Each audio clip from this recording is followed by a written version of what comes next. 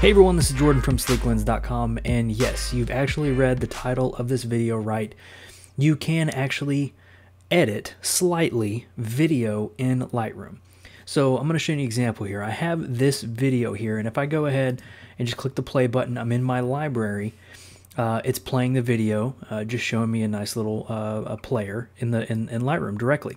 So that's all good and great. But if you want to edit the video, uh, if you wanted maybe bump up the exposure, the uh, vibrance, something like that, you go to develop and you get this message here that says video is not supported in develop. So basically that means you're not able to do any sort of editing, any of your normal editing that you would do to your photos in Lightroom.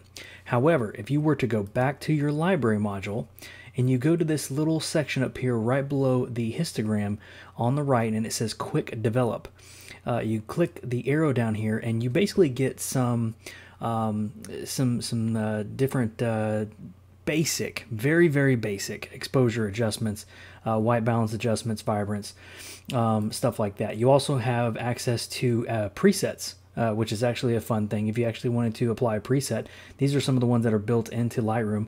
Uh, I can click black and white there, and it'll say, yeah, yeah, yeah. We can just click there, and boom, we actually have a black and white version of it. I don't want to do that, but you actually can apply a preset to your um, your video. It won't apply all of the adjustments because you only basically have the ability to apply the adjustments that are available to you in the uh, develop, uh, the quick develop module here but uh, you can apply some things. But if you wanted to maybe uh, take uh, down the exposure one stop, you can go right there. Um, oh, I'm sorry, right down here, you can take down the exposure. You can actually play with the temperature up here so we can kind of warm it up a little bit if we wanted to. Uh, we can take the vibrance up a little bit um, and just keep going with that right there. And um, yeah, you can get some some basic adjustments in here. This is basically the only way to edit video in Lightroom. So technically you can edit a clip, a video clip in Lightroom, and this is the way you can do it. And if you had some, uh, again, some presets that you wanted to, some very basic presets that you wanted to apply to your clips, this is the way you could do it over here with the uh, custom area right here. So if you wanted to uh, do some quick editing to some videos in Lightroom, this is the way to do it.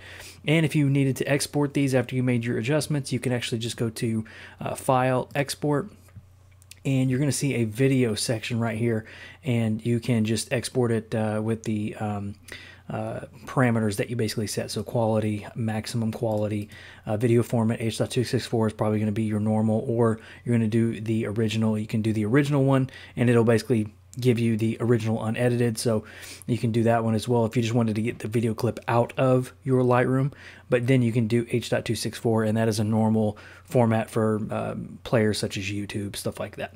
So uh, that's as basically easy as it was to edit video, uh, which you probably could not do before in a Lightroom. Uh, this is very basic adjustments in your videos in Lightroom. Thank you for joining me in this video. This was Jordan from Sleeklens, and I'll see you in the next one.